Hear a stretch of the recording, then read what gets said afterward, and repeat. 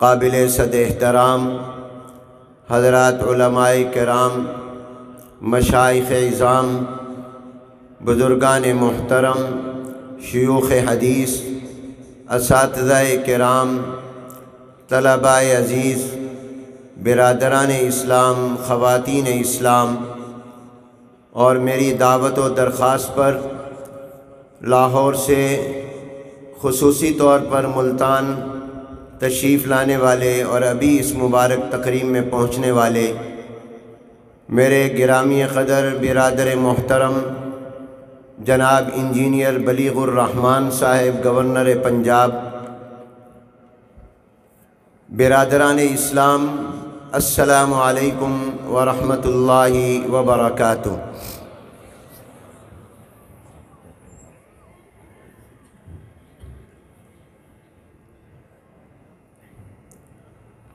मैं सबसे पहले इस हकीकत का इजहार ज़रूरी समझता हूँ कि ऐलान और प्रोग्राम के मुताबिक, वादे के मुताबिक इस इज्तम से शेख़ुल इस्लाम, हज़रत मौलाना मुफ्ती मोहम्मद तकी उस्मानी साहब, दामद बरक़ातुमलिया ने खिताब फरमाना था और बुखारी शरीफ की आखिरी हदीस का मुबारक दर्स भी उन्होंने ही देना था। कल उन्हें मुल्तान पहुँचना था, मगर बाद ऐसी आवारिस पेश आए नागुजीर वजूहत पेश आ गईं, जिसकी बिना पर वो तशरीफ़ न ला सके।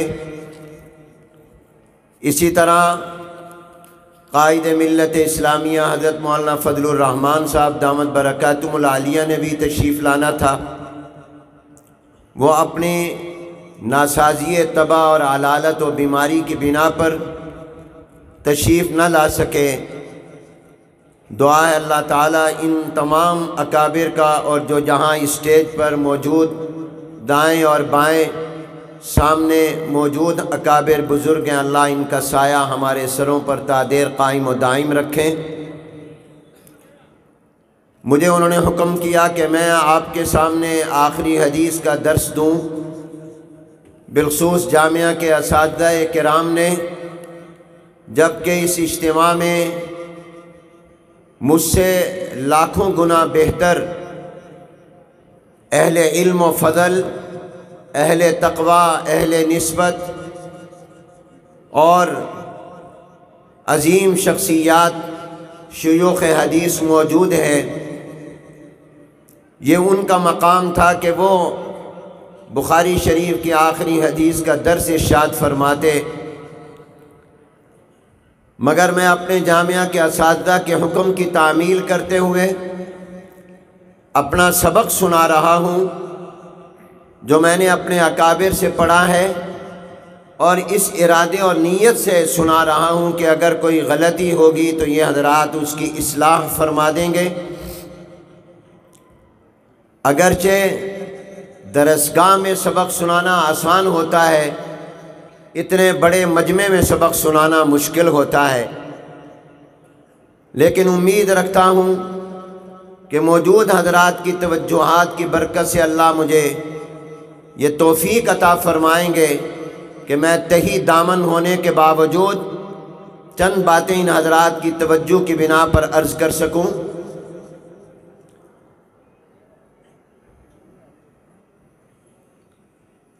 ये मजलिस आम मजलिस नहीं है। इसकी नस्बत है जनाब नबी करीम रहमत आलम हजूर अक्रम सल्लल्लाहु अलैहि के साथ। इसलिए कहल इल्म फरमाते हैं कि जिस मजलिस में जनाब नबी करीम सल्लल्लाहु की हदीस मुबारक पढ़ी और पढ़ाई सुनी और सुनाई जाए, उस मजलिस का हुक्म सरकार की मजलिस का है। जनाब नबी करीम सल्लल्लाहु अलैहि वसल्लम की मजलिस का है। इसकी नस्बत है जनाब नबी करीम ताजदार मदाना, मदीना हुजूर अकरम सल्लल्लाहु अलैहि वसल्लम के साथ। और हमारा ईमान और अकीदा है कि जनाब नबी करीम सल्लल्लाहु अलैहि वसल्लम से जिस चीज़ की नस्बत हो जाए, अल्लाह ताला उसे भी आला और अफजल बना देते हैं। वो अगर कोई ज़र्रा हो तो अल्लाह उसको आफ्ताब व महताब बना देते हैं। वो कुछ भी ना हो तो अल्लाह उसे सब कुछ बना देते हैं। मैं कहा करता हूँ कि मदीना मुनवरा दुनिया के नक्शे और जोग्राफिए में पहले भी था। ये शहर पहले से मौजूद और आबाद था। लेकिन जब इस शहर को नस्बत हुई जनाब नबी करीम, हजूर अक्रम सल्लल्लाहु अलैहि के साथ और हुजूर अकरम सल्लल्लाहु अलैहि वसल्लम के पाँव मुबारक इस शहर की मट्टी पर पहली मर्तबा जब लगे तो इस शहर का नाम भी बदल गया, इसका मकाम भी बदल गया। नाम इसका पहले यसरब था, वो यसरब मना कर दिया गया। हालाँकि कुरान में भी ये नाम आया था। कहा, आज के बाद इसको यसरब न कहना, आज के बाद इसको मदीना मुनवरा कहना। आज के बाद इसको मदीनतुलरसूल कहना, आज के बाद इसको मदीनतुलनबी कहना, आज के बाद इसको मदीना तय्यबा कहना। दुनिया का मुसलमान किसी शहर को देखने की इतनी तमन्नाएँ और आरजुएँ नहीं करता, जितना मदीना पाक को देखने की दुआएँ, तमन्ना, आरजुएँ करता है, पैसे जोड़ता और जमा करता है। ये तो अल्लाह ने उसका नाम बदला, मकाम ये अता फरमाया। हुजूर सलाम ने फरमाया जो मेरे शहर मदीना मुनवरा में ईमान के साथ फोत होगा, वो बग़ैर हिसाब के जन्नत में जाएगा। और एक रिवायत में फरमाया, मैं मोहम्मद सल्लल्लाहु अलैहि उसकी सिफारिश सिफारिश करूँगा। मदीना को नस्बत हुई, वो यसरब से मदीना मुनवरा बन गया। उसका मकाम आला हो गया। जनाब नबी करीम सल्लल्लाहु अलैहि वसल्लम की नस्बत ज़माने को ही आप तारीख़ की किताबें उठा कर देखें। हजूर सलाम से पहले वाले दौर को दौर जाहिलियत कहते थे, ज़माना जाहिलियत कहते थे। लेकिन जब उसकी नस्बत हुजूर सलाम के साथ हुई, उसका नाम बदल गया और उसको ज़माना जाहिलियत नहीं, बल्कि खैरुल कुरून, बदतरीन ज़माना, बेहतरीन ज़माना बन गया। मेरे महबूब की नस्बत से, मेरे महबूब की नस्बत कुरान करीम को हासिल हुई, तमाम किताबों से आला। मेरे नबी की नस्बत उम्मत को हासिल हुई, तमाम उम्मतों से आला। मेरे महबूब की नस्बत जनाब नबी करीम सल्लल्लाहु अलैहि वसल्लम की नस्बत सहाबा को हासिल हुई, तमाम पैगम्बरों के सहाबा से आला। हुजूर सलाम की नस्बत ख़ानदान को हासिल हुई, हुजूर का ख़ानदान तमाम ख़ानदानों से आला। जनाब नबी करीम, हुजूर अकरम सल्लल्लाहु की नस्बत जिस चीज़ को हासिल हो जाए, वो सबसे आला हो जाया करती है। मैं आपके ईमान को ताज़ा करने के लिए चाहता हूँ। आप अपनी ज़बान से ये बात ज़रा कह दें। मैं कहलवाया करता हूँ। दिलो दिमाग में उतर जाए। आप सारे मेरे साथ एक जवाब मुझे दे दें। सबसे आला, कहो हमारे पैगंबर की सूरत कोई ज़बान खामोश ना रहे। अल्लाह, जो जो जवाब दें, इनको मक्का मदीना दिखा दे। जो जो जवाब दें, इनको जन्नती बना दे। वक्त थोड़ा है, जल्दी फरमाइए, हमारे पैगंबर की सूरत सबसे? हमारे पैगंबर की सीरत? हमारे नबी का हुस्न जमाल? हमारे पैगंबर की आँखें? हमारे पैगंबर का चेहरा अनवर? हमारे पैगंबर का सर मुबारक? हमारे पैगंबर के बाल मुबारक? हमारे पैगंबर का सर से पाँव तक का वजूद?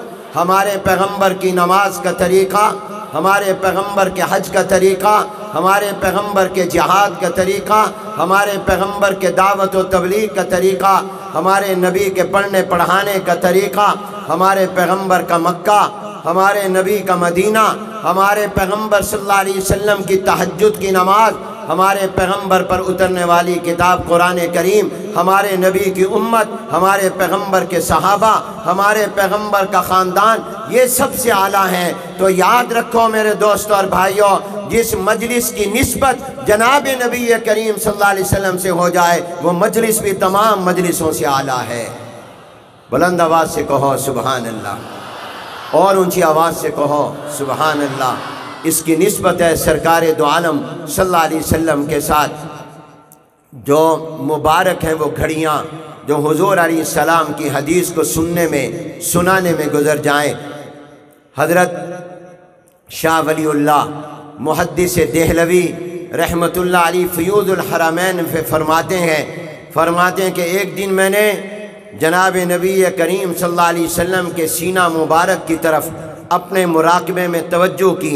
हुजूर सलाम के सीना नबुवत की तरफ़ मैंने अपना ध्यान और तवज्जो की, मैंने अपने दिलो दिमाग को मुतवजह किया। तो फरमाया, मुझे हुजूर सलाम के सीना मुबारक से नूर की शुआएँ निकलती नज़र आईं और ये नूर की शुआएँ उन लोगों पर पढ़ रही थी जो हुजूर की हदीस को पढ़ रहे थे और पढ़ा रहे थे। जो हजूर की हदीस को सुन रहे थे और सुना रहे थे और इन नूर की शुआओं का मुशाहदा भी अल्लाह वालों को हो जाया करता है। एक बुज़ुर्ग और आलिम गुजरे गए शेख अब्दुल अज़ीज़ दब्बाक रहमतुल्लाह अलैह, ये अनपढ़ थे, ये आलिम नहीं थे। पढ़े लिखे नहीं थे, लिखना, पढ़ना नहीं जानते थे। लेकिन कुरान के हाफिज भी नहीं थे। लेकिन जब कुरान करीम कोई पढ़ता तो इनको पता चल जाता। जब हदीस पढ़ता तो पता चल जाता। इनसे किसी ने कहा, जब कोई कुरान पढ़ता है तो आप फरमाते हैं, ये कुरान पढ़ रहा है। जब कोई हदीस पढ़ता है, आप कहते हैं, ये हदीस पढ़ रहा है। जबकि आप तो आलिम भी नहीं है। आपको पता कैसे चलता है? तो फरमाया, जब कुरान की कोई आयत पढ़ता है उसके मुँह से सूरज की रोशनी निकलती है। हुजूर सलाम का फरमान और हदीस पढ़ता है तो चाँद की रोशनी निकलती है। मैं इन रोशनियों से समझ जाता हूँ, ये कुरान पढ़ रहा है, ये हजूर सलाम की हदीस पढ़ रहा है। तो मेरे दोस्तों ये नूर की शुआएँ हदीस पढ़ने पढ़ाने वालों को मिल रही हैं। आप भी हुजूर की हदीस पढ़ने आए हैं। आज अभी हुजूर की हदीस पढ़ेंगे, सुन भी रहे हैं। इन ये नूर की शुआएँ, ये नूर आप तक भी पहुँचेगा। ये रोशनी आप तक भी पहुँचेगी। मौलाना फजलरहमान गंज मुरादाबादी रहमतुल्लाह जिनका नाम मौलाना फजल रहमान गंज मुरादाबादी अक्सर लिखा गया है। इनके बारे में हज़रत मौलाना सैद अबुल नदवी रहमत फरमाते हैं कि एक जगह पर आए और उस जगह पर खड़े होकर कहने लगे कि इस जगह से मुझे नूर की शुआएँ आसमान तक जाती नज़र आ रही हैं और आसमान से नूर इस ज़मीन के टुकड़े तक आता नज़र आ रहा है। पता करो ये जगह कौन सी है। जब तहकीक की गई तो पता चला कि दहली के मुहदस मुहदस दहलवी शेख अब्दुल हक रहमत यहाँ बैठ कर हजूर की हदीस पढ़ाया करते थे। इसलिए यहाँ से अनवारात निकला निकलते हैं। मैं कहा करता हूँ, इन मदरसों की कदर करो। मस्जिदों की कदर करो। जब मस्जिदों में अल्लाह की इबादत होती है, मदरसों में कुरान पढ़ा जाता है, जब हदीस पाक पढ़ी जाती है, दरूद पाक पढ़ा जाता है, पूरे इलाके पर नूर नाजिल होता है, पूरे इलाके पर रहमतें नाजिल होती हैं, पूरे इलाके से अल्लाह मुसीबतों को टाल देता है, अल्लाह तकलीफ़ों को हटा देता है। ये मदरसे सिर्फ़ अपनी जगह नहीं, पूरे महल्ले, शहर इलाके मुल्क के लिए अल्लाह की नेमत और रहमत है। जनाब नबी करीम हजूर अक्रम सल्लाम की हदीस की मजलिस है। इसकी नस्बत है जनाब नबी करीम सल्लाम के साथ। हदीस की किताबों में सबसे अली किताब ये बुखारी शरीफ है, जिसका नाम अलजाम सही हो अलमुसनद, अलमुख्तसर, मिन उमूरी रसूल सल्लाम व सुनन ही व अयाम ही है। इसको बुखारी तो इसलिए कहते हैं कि लिखने वाले इमाम बुखारी थे, बुखारा के रहने वाले थे उस बुकिस्तान के रहने वाले थे, वरना इसका नाम बुखारी नहीं है। जाम सही मुस्ंद मुख्तसर हुजूर की ज़िंदगी के बारे में ये इसका पूरा नाम है। इस किताब को इमाम बुखारी ने बुखारा में नहीं लिखा, समरकंद में नहीं लिखा, ताशकंद में नहीं लिखा। दुनिया के कई मुल्कों में गए हैं, एक हज़ार से ज़्यादा इस हैं, जिनसे इल्म हासिल किया है। मगर इमाम बुखारी रहमत ने इस किताब को लिखा है मक्तुलमकरमा में, मस्जिद हराम में, खाना काबा के पास बैठकर, बैतुल्लाह के पास बैठकर, हतीम में बैठकर इस किताब को लिखा है। और इसके जो उनवानात कायम किए हैं, तराजम और अबवाब कायम किए हैं, वो मदीना पाक में मदीना मुनवरा में हुजूर के मिंबर और हुजूर अली सलाम के रोज़ा मुबारक के दरमियान बैठ कर गोया रियाजुल जन्ना में बैठ कर इसके उनवानात लगाए, इसकी सुर्खियाँ लगाई तराजम और अबवाब को कायम किया और फरमाते हैं, मुझे सोलह साल लगे, मैंने सोलह साल हुजूर सलाम की हदीसों पर मेहनत की और छः लाख अहादीस में से मैंने इन अहादीस का इंतखब किया जो तकरीबन छः हज़ार, आठ हज़ार गए इनके हदीस का इंतखब करके मैंने 16 साल में इनको लिखा और फरमाते, इस पूरे 16 साल के अंदर एक दिन का भी रोज़ा नहीं छोड़ा। पूरे 16 साल मैंने रोज़ा रख कर ये किताब लिखी है। सुबहान अल्लाह कहो। सोलह साल रोज़े रखे। हर हदीस के लिखने से पहले दो रकात नफल पढ़े, इस्तिखारा किया। अल्लाह ये तेरे महबूब पैगंबर का फरमान है। मेरी तहकीक के मुताबिक ये तेरे नबी का अमल है। ये तेरे महबूब पैगंबर की बात है। अब तू मेरे दिल में डाल दे कि मैं सही समझा या गलत समझा। अल्लाह की तरफ़ से इशारा हुआ तो फिर इमाम बुखारी रहमत ने इसके अंदर हदीस को लिखा है। सोलह साल जिस किताब को इमाम बुखारी ने मुरतब किया, जिसके अंदर 16 साल रोज़े रखे, जिसमें इमाम बुखारी ने तकरीबन सोलह हज़ार रकातें पढ़ी, इसलिए कि आठ हज़ार हदीसें हैं। हर हदीस पर दो रकात नफल पढ़े तो हज़ार गोया सोलह हज़ार नफल की नमाजें, रकातें पढ़ी हैं। इमाम बुखारी रहमत की इस किताब का आज मैं और आप भी पढ़ने लगे हैं, और उस सिलसिले से जुड़ने लगे हैं, जो सिलसिला चौदह सौ साल से हम तक मिला आ रहा है शेख़ुल इस्लाम। मेरे शेख मुरबी हज़रत मौलाना मुफ्ती मोहम्मद तकी साहब फरमाया करते हैं फरमाते तुमने ट्रेन देखी है, गाड़ियों में सफ़र भी किया है। जब तुम ट्रेन में बैठते हो, तुमने देखा होगा, उसमें एयर कंडीशन का डब्बा भी होता है, आम स्लीपर भी होता है, उसमें सेकंड क्लास का डब्बा भी होता है। अगर तुम सेकंड क्लास में भी बैठे, वो डब्बे एक दूसरे के साथ जुड़े हुए होते हैं। जब वो इंजन उन डब्बों को खींच कर ट्रेन को लेकर कराची या पिशावर पहुँचता है तो जहाँ एयर कंडीशन डब्बा पहुँचता है, जहाँ स्लीपर वाला डब्बा पहुँचता है, जहाँ पर और बड़े बड़े आलीशान डब्बे पहुँच जाते हैं। वहाँ जो सेकंड क्लास में बैठा मुसाफिर है, वो भी उसी वक्त में कराची पहुँच जाता है। तो फरमाते थे, तुम भी हदीस के तालब इलम बन जाओ तुम भी हदीस को पढ़ लो, ताकि हदीस के इस सिलसिले में जो एयर कंडीशन लोग थे मुहदसिन और फुकहा थे, मुजतहिदीन थे, आइम्मा थे, जिन्होंने जिंदगियाँ इसमें गुजार दी, जब उनकी गाड़ी और उनके डब्बे के साथ तुम अपना डब्बा जोड़ दोगे, जब उनकी गाड़ी जन्नत में पहुंचेगी, तुम भी जन्नत में पहुँच जाओगे इन इसलिए आज हम अपने डब्बे को जोड़ने लगे हैं। आज हम भी यह हदीस पढ़कर इमाम बुखारी के शागिर्द बनने लगे हैं मुहदसिन के सिलसिले से जुड़ने लगे हैं। इमाम बुखारी रहमत ने जो आखिरी बाप कायम किया है, ये बाप इमाम बुखारी रहमत ने वज़न आमाल का कायम किया है। इमाम बुखारी रहमत की आदत है। वो अपने अल्फाज को उनवान नहीं बनाते। वो अक्सर कुरान की आयात को या हजूर की अहादीस को या सलफ़ सालीन के कौल को उनवान बनाते हैं। इशारा करते हैं कि मेरे लफ्ज़ों में बरकत नहीं, जो कुरान में बरकत है।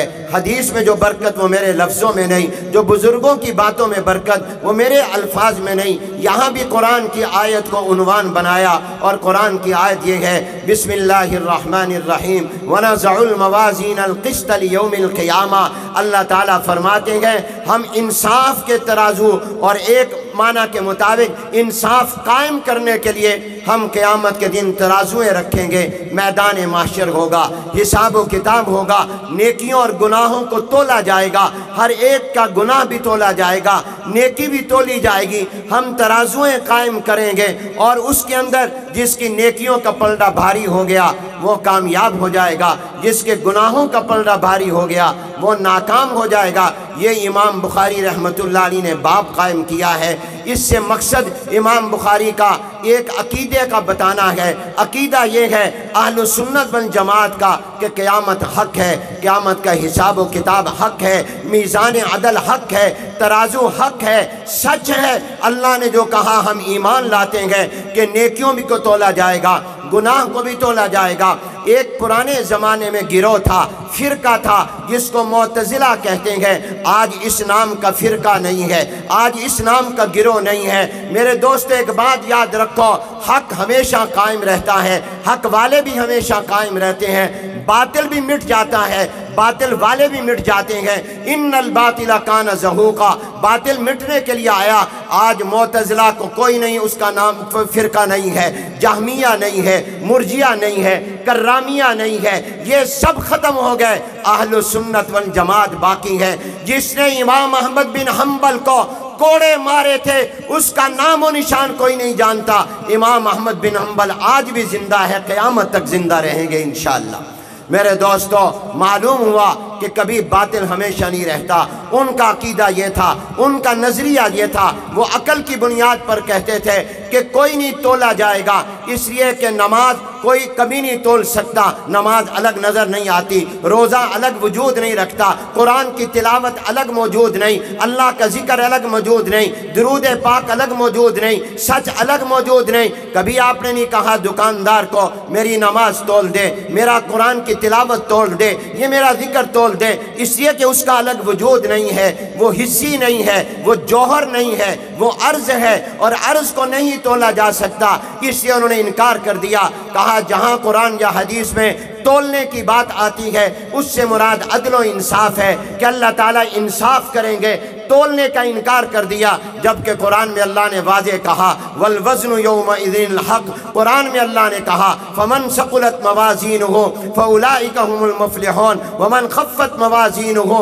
फ़लादीन खसरम और कुरान में अल्लाह ने कहा वनज़ुलमवाजीन अलक़िस्तलयमिलक़ियामा मेरे महबूब पैगंबर से फरमाया, तोला जाएगा। उन्होंने इनकार किया। इनकार अकल की बुनियाद पर किया, कि समझ में बात नहीं आई, दिमाग में नहीं आई। इसलिए इनकार कर दिया। इमाम बुखारी ने उनका रद्द किया और अहल सुन्नत का अकीदा साबित किया और कहा, हमारा ईमान है इन अमाल बनी आदमा व कौल हम यू जनो इमाम बुखारी ने इस कौल को भी इख्तियार नहीं किया कि नामा अमाल को तोला जाएगा। इमाम बुखारी ने इस कौल को भी इख्तियार नहीं किया कि अमल करने वाले आदमियों को तोलेगा। इमाम बुखारी ने कहा, नहीं, अमलों को ही तोला जाएगा। बोल और कौल को ही तोला जाएगा। और कहा, अगर अकल में नहीं आता तो ना आए, हम अकल परस्त नहीं, हम तो खुदा परस्त हैं। सारे कह दो, हम क्या हैं? हमने अकल के पीछे चलना है या अल्लाह के हुक्म पर चलना है? हमने अकल के पीछे चलना है या हजूर के पीछे चलना है? ये अकल शरीयत के नीचे है। शरीयत अकल से ऊपर की चीज़ है। ये अकल अल्लाह ने शरीयत को समझने के लिए दी है। अक शरीयत की बुनियाद वही इलाही पर है। वही का मकाम अकल से ऊपर है। जहाँ आँख नहीं देख सकती, कान नहीं सुन सकते, वहाँ अकल काम करती है। जहाँ अकल काम नहीं कर सकती, वहाँ अल्लाह की वही रहनुमाई करती है। इसलिए मेरे दोस्तों और भाइयों हमने अल्लाह की बात माननी है। लेकिन आज तो अकल की दुनिया में भी मानना पड़ेगा। अल्लाह मानवर शाह कश्मीरी रहमत फरमाया करते थे ये दुनिया ख़त्म नहीं होगी, क़यामत नहीं आएगी। जब तक कि अल्लाह ताला अकलों की बुनियाद पर भी मनवा नहीं लेगा कि कुरान सच्चा है, मेरे नबी का फरमान सच्चा है। उस ज़माने में तो ये बात लोग करते थे, आज आप देखें आराज को तोला जा रहा है, आज गर्मी को तोला जा रहा है, सर्दी को तोला जा रहा है, गर्मी अलग वजूद नहीं रखती, सर्दी अलग वजूद नहीं रखती, आज थर्मामीटर से बुखार को तोला जा रहा है, वो बता देता है तुम्हारे जिसम में गर्मी कितनी है, आज शुगर को नापा जा रहा है कि तुम्हें 101 शुगर है। नॉर्मल है या तुम्हारी ज़्यादा शुगर है? आज बिजली और गैस को तोला जा रहा है। इतने आलात और मीटर आ गए हैं, जबकि बिजली का अलग वजूद नहीं, गैस का अलग वजूद नहीं, गर्मी, सर्दी का अलग वजूद नहीं, हवा को तोला जा रहा है। अगर आज का इंसान अल्लाह के दिए हुए दिमाग और अकल को इस्तेमाल में लाकर गर्मी तोल सकता है, हवा को तोल सकता है, सर्दी को तोल सकता है, बुखार को तोल सकता है, अगर गैस को तोड़ सकता है बिजली को तोड़ सकता है तो जिस अल्लाह ने इंसान को ये अकल दी है, ये दिमाग दिया है, क्या वो अल्लाह इस पर कादर नहीं है कि मेरी और आपकी नमाज़ को तोल ले, मेरे और आपके रोज़े, ज़क़़त, हज और सदक़े, खैरात को तोल ले, वो अल्लाह मेरे और आपके सच को तोल ले, वो हमारे गुनाहों को तोल ले। अल्लाह तो इतना कादिर मुतलक है कि अहले इलम फरमाते हैं, आदम सलाम से लेकर आज तक जितने मर्द इंसान पैदा हुए और जितने क़्यामत तक पैदा होंगे, जिस शक्ल पर अल्लाह ने एक इंसान को, एक मरतबा पैदा कर दिया। उस शक्ल पर अल्लाह ने दोबारा किसी इंसान को पैदा नहीं किया। हज़रत हवा से लेकर आज तक जिस औरत लड़की को अल्लाह ने जिस शक्ल पर पैदा कर दिया, वो खा कबर में चली गई हो, उस शक्ल पर अल्लाह ने दोबारा किसी औरत को पैदा नहीं किया। ये अल्लाह तबारक व का फजल और करम है ये उसकी ताकत कुदरत है। मेरे हाथ की लकीरें, आपके हाथ की लकीरें दुनिया की लकीरों से मुख्तलिफ़ हैं। आज फिंगर प्रिंट दुनिया तरक्की के बावजूद लेती है। दस्तखत नहीं, अंगूठा लगाओ। क्यों अंगूठा लगाएँ? कहा, जाल शादी पकड़ लेंगे। इस अंगूठे के ऊपर के हिस्से में मेरे रब ने जो नक्शा बनाया है, वो नक्शा कोई नहीं बना सकता। इसमें जाल शादी नहीं हो सकती। हर एक के अंगूठे के ऊपर के हिस्से के हिस्से की लकीरें दुनिया के तमाम इंसानों के अंगूठे की लकीरों से अलग और मुख्तलिफ़ है। सुबहान अल्लाह, कह दो। ये मेरे रब की कुदरत है। इसलिए मेरे दोस्तों और भाइयों मैं आप ज़्यादा वक्त नहीं लेता।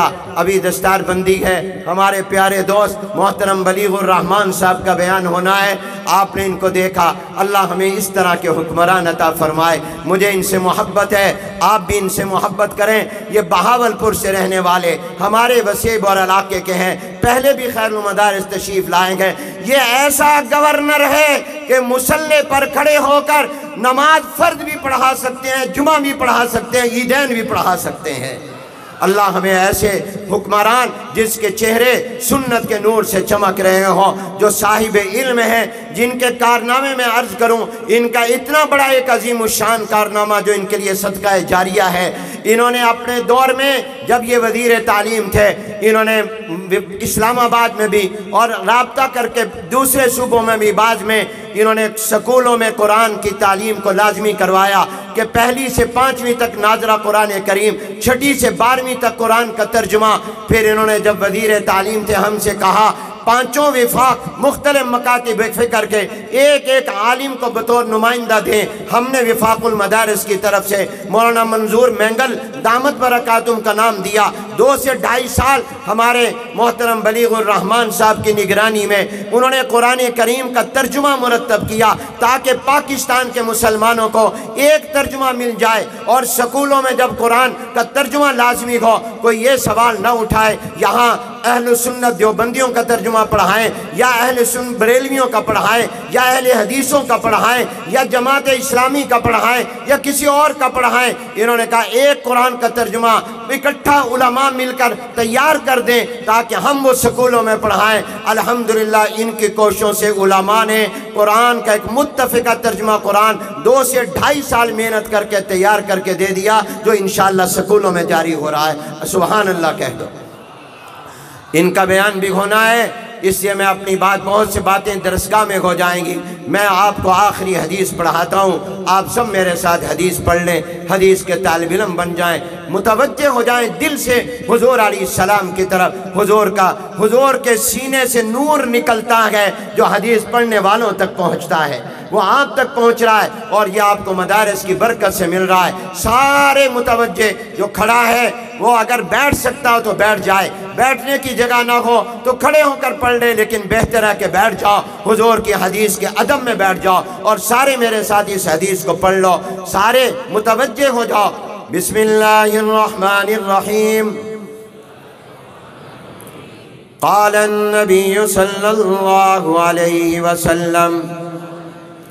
बुलंद आवाज़ से पढ़ो, ऊँची आवाज़ से पढ़ो, फरिश्ते गवाह हो रहे हैं। जहाँ तक जाओगे, आवाज़ जाएगी फिजा भी गवाह हो जाएगी। बुलंद आवाज़ से पढ़ो। काल नबी सल्लल्लाहु अलैहि वसल्लम, कलिमतान, हबीबतान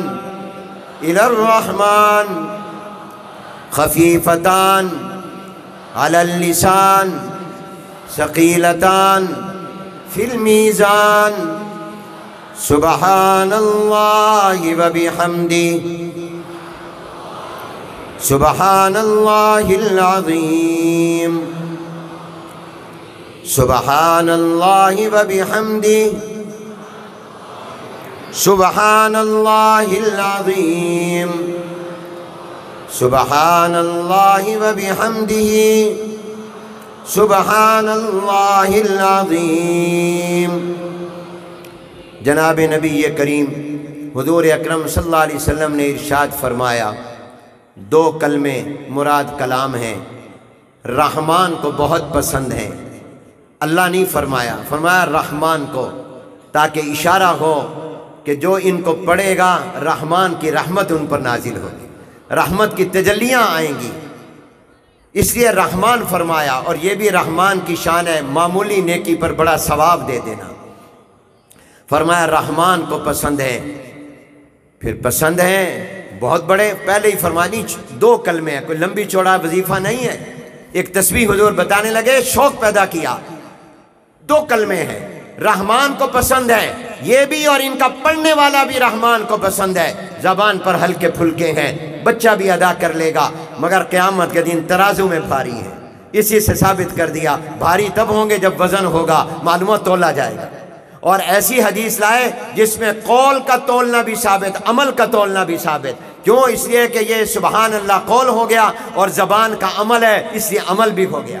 तो फरमाया, कौल भी तोला जाएगा, अमल भी तोला जाएगा। और वो फिर शौक पैदा करके बताया, फरमाया, वो कौन से दो कलमे हैं? फिर पढ़ लो सुबहान अल्लाह वबी हमदी सुबहान अल्लाज़ीम सुबहान अल्लाह वबी हमदी सुबहान अल्लाज़ीम अल्लाह ऐबों से पाक हैं, तमाम कमालात के जामे हैं, वक्त नहीं कि मैं इसकी तफसील में अब बयान करूँ, फिर कभी सही, लेकिन चार पाँच बातें खुलासे के तौर पर अर्ज़ करता हूँ। पहली बात इमाम बुखारी ने अपनी किताब को शुरू किताबुल ईमान से किया, ख़त्म किताबुल तोहीद पर किया। तोहीद भी ईमान है। गोया ये कहा, अपने ईमान की हिफाजत करना, ईमान का ख्याल करना। शुरू में भी ईमान, आखिर में भी ईमान। एक जुमला कहा करता हूँ, सुना हुआ है बुज़ुर्गों से, तुम अपने ईमान को बचा कर कब्र तक ले जाओ, फिर कब्र से आगे जन्नत तक ईमान तुम्हें ले जाएगा। अल्लाह हम सब का ख़ात्मा ईमान पर फरमाए। हम सबको अल्लाह ताला ईमान का फ़िक्र की तोफ़ी कता फरमाए, अपनी और औलादों के ईमान की। और ईमान की अजमत इतनी समझ लो, ईमान ना हो, हाजियों को पानी पिलाना काम नहीं आता। काफिर मुशरक हाजियों को पानी पिलाते थे, बैतुल्ला की सफ़ाई करते थे, कई दाड़ियों से करते थे, मगर उनका अजर बदला अल्लाह दुनिया में दे देगा, आखिरत में आदाब हल्का कर देगा। जाएँगे जहन्नम में, पानी पिलाना हाजियों को काम नहीं आएगा काफरों के, क्योंकि ईमान नहीं। और अगर ईमान हो तो फिर बदकारा औरत का प्यासे कुत्ते को पानी पिलाना भी काम आ जाता है। हजूर ने फरमाया कि बदकारा औरत थी, प्यासे कुत्ते को पानी पिलाया, आवाज़ आई, तुझे हमने जन्नत में दाखिल कर दिया। क्योंकि ईमान था, ईमान। एक तो ईमान का ख्याल करो, दूसरी बात इमाम बुखारी ने मुतवजह किया अपनी कबर, आखिरत मौत, हिसाब किताब को याद रखो। और तीसरी बात, इस तरह मुतवजह किया कि नेकियाँ ज़्यादा करो ताकि तुम्हारे नेकियों का पलड़ा भारी हो ख़ास तौर पर नमाज़ कभी ना छोड़ो। और एक इस तरफ़ मुतवजह किया, अपनी ज़बान की हिफाजत करो। और एक इस तरफ़ मुतवजह किया, जब भी कोई दीन का मसला बयान करो, अटकल से बयान न करो, पूरी दलील के साथ ज़िम्मेदारी से बयान करो। क्यों? इसलिए कि इमाम बुखारी भी जो हदीस बयान करते हैं, पहले सनद लाते हैं। सनद हदीस के, हदीस होने की दलील है, मसले की दलील है, उलमा भी, अवाम भी, जब दीन का मसला बयान करें, ज़िम्मेदारी से बयान करें। और एक ये कहा कि जब भी कोई नेक अमल करो या बात करो, अपने दिल को टटोल इखलास है या नहीं, क्योंकि तुम्हारी नेकियों में वज़न जो आएगा, ये नहीं कहा तोला गिना जाएगा, कहा तोला जाएगा, वज़न इखलास से आएगा। अल्लाह की रज़ा के लिए करोगे तो उसके अंदर वज़न आएगा, अल्लाह की रज़ा के लिए नहीं होगा तो वज़न नहीं होगा। और आखिरी बात यह कही कि अपनी ज़बानों को अल्लाह की तस्वीर और ज़िक्र से आबाद रखा करो, तरोताज़ा रखा करो। अल्लाह ताला इसको कबूल फरमाए। मैं अभी, चूँकि गवर्नर साहब का बयान होना है, दुआ भी होनी है, और ये इन बच्चों की दस्तारबंदी। खड़े हो जाओ बच्चों। पहले कुरान के हाफिज खड़े हो जाएँ। माशाल्लाह, ये सारे आप ज़रा देखो इनकी तरफ़। और कहो, मुबारक मुबारक। ये तकरीबन खैरमदारस से और उसकी शाखों से ढाई सौ के करीब कुरान के हाफिज हैं जो इस साल गवर्नर साहब तैयार होके जा रहे हैं। तीन सौ कुरान के हाफिज हैं जो खैरमदारस की शाखों से जा रहे हैं। तीन सौ कुरान के हाफिज, बैठ जाओ। बच्चियाँ जो हैं वो तालीम उन्नीसा में वो अलग हैं। अब मैं उन तलबा को खड़ा कर रहा हूँ जो आलिम का कोर्स पूरा करके दौरा हदीस से फारिग होकर जा रहे हैं, जो तकरीबन 200 हैं। ये तमाम पूरे मुल्क के इधर मुँह कर लो भी। आप सारे कहो मुबारक मुबारक। आप कहो खैर, मुबारक खैर, मुबारक। माशाल्लाह। अब उन तलबा को खड़ा कर रहा हूँ जो दो साल का मुफ्ती का, इफ्ता का कोर्स करके यहाँ से जा रहे हैं। वो खड़े हो जाएँ मुतखसिन ज़रा इनको भी देखो और इनको भी मुबारक दे दो। माशा अल्लाह ताला कबूल फरमाए। मैं शुक्रगुजार हूँ हज़रत मुफ्ती हसन साहब। हमारे ख्वाजा खाजगान खानका सिराजिया कुंदिया शरीफ के सज्जादा नशीन, हज़रत मौलाना ख्वाजा खलील अहमद साहब दामद इनके अब्बा जान खैरमदारस को अपना मदरसा समझते थे। हर प्रोग्राम में तशरीफ़ लाते थे।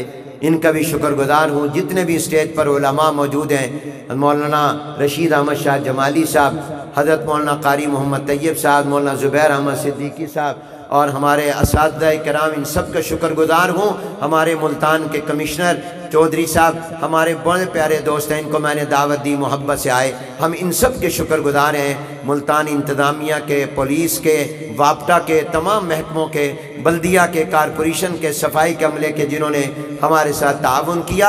आपने बैठे रहना है और इस मोहब्बत में कि इनके साथ आपने आज ये ये दुला है असल में। इनकी अभी दस्तार बंदी हो गई है, इनके बुज़ुर्ग सरों पर हाथ रखेंगे और फिर दुआ होगी। मज़ीद तकरीबन 20 से 25 मिनट फिर हम नमाज़ असर अदा करेंगे और अल्हम्दुलिल्लाह नमाज़ असर को वक्त मुस्तहब और जवाज़ में अदा करेंगे। अब